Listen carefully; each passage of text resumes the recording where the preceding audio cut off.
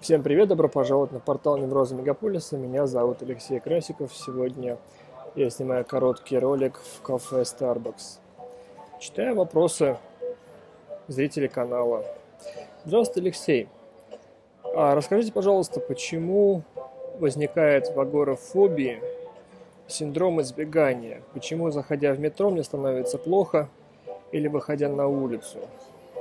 И примерно тот же самый вопрос задает еще человек, почему у нее возникает паника при определенных обстоятельствах. А, давайте я, как обычно, попытаюсь вам доступно и просто объяснить с точки зрения науки и нейрофизиологии, как это происходит.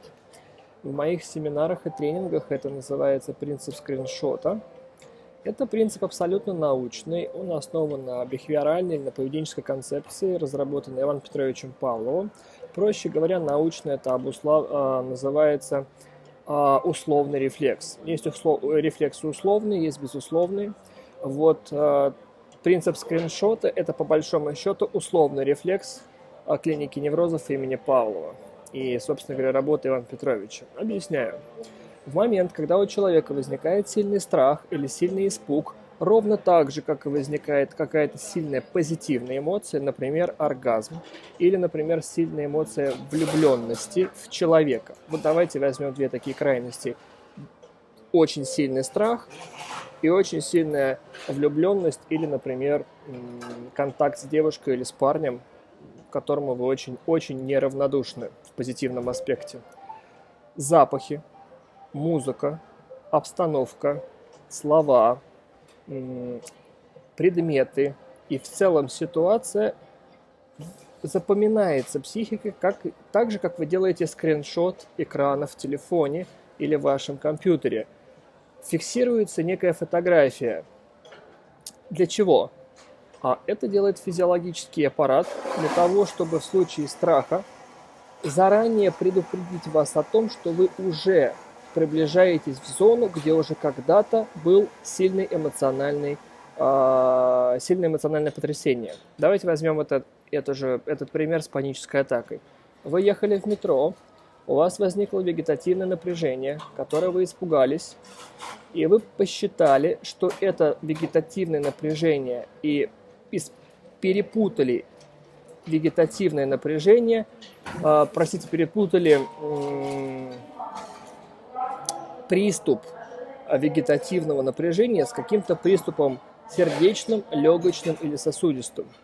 Вы испугались из-за того, что вы перепутали, и принцип, по принципу скриншота запомнили, где это было, и подумали, что это связано с тем местом.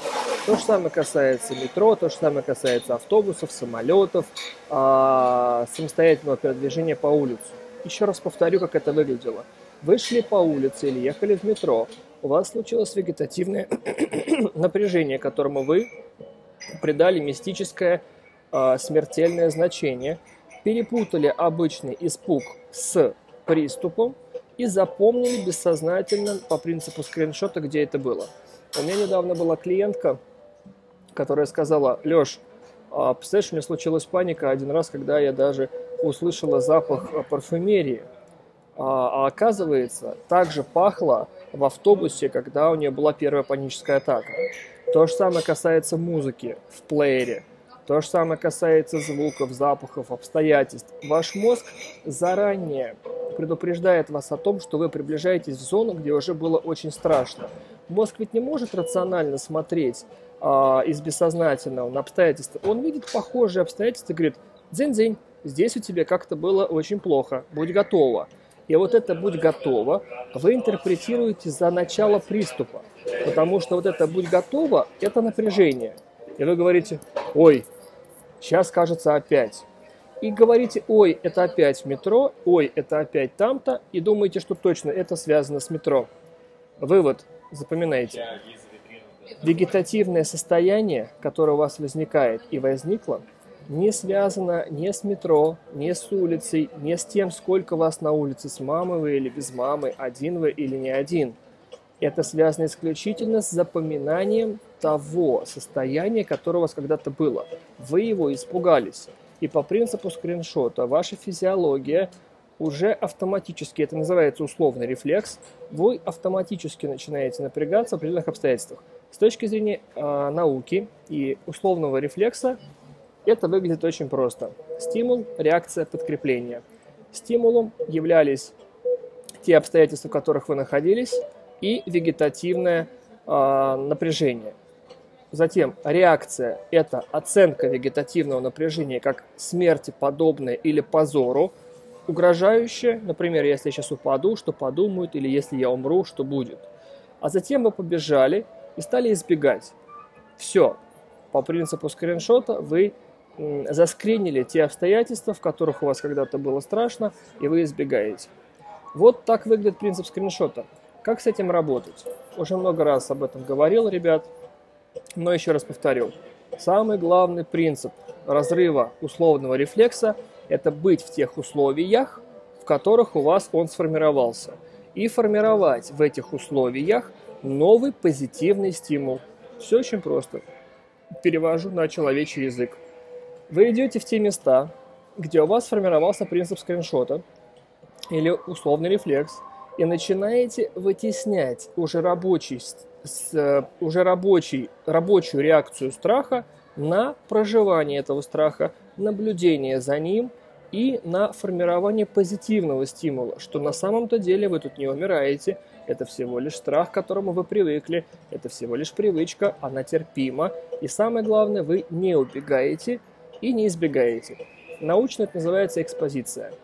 Соответственно, еще раз, по науке это называется сформирование условного рефлекса, терапия называется экспозиционная. На человечьем языке вы запомнили те обстоятельства, в которых вы когда-то перепутали вегетативное напряжение с сердечным, сосудистым или легочным приступом, и по принципу скриншота вы запомнили эти обстоятельства и стали их избегать. Понятно? Я ответил на ваш вопрос. Костя, пожалуйста. И еще раз хочется пригласить всех 25-26 апреля, кто живет в Москве или будет проездом. Я лично два дня с 10 до 18, а, суббота-воскресенье, суббота это 25 апреля, воскресенье это 26, приглашаю вас на очный семинар. Первый день субботы мы будем разбирать всю теорию вегетососудистой дистонии, панических атак, агорафобии, навязчивых мыслей и методику работы с этой проблемой.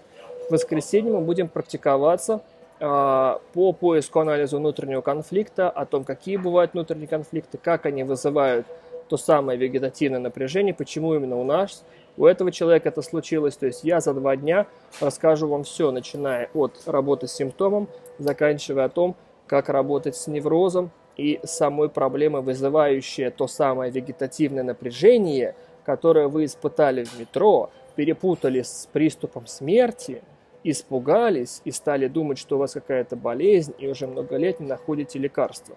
Потому что на самом деле – вы испугались вегетативного напряжения, которое было вызвано невротическим состоянием. И вот 25-26 я буду все подробно рассказывать, показывать и работать и с симптомом, и с тем самым неврозом, который вызвал вегетативное напряжение. Так что жду вас 25-26 в Москве. Заявки через почту невроза нет собака gmail.com или можно позвонить мне лично по телефону 8495, это код Москвы, 201 53 19. Я отвечу вам, отвечу вам на все ваши вопросы. Стоимость семинара 8 тысяч рублей за два дня. Это очень недорого, учитывая, что мой дистанционный курс стоит 6500, а час моей работы в интернете стоит 3,5, а очно 2500.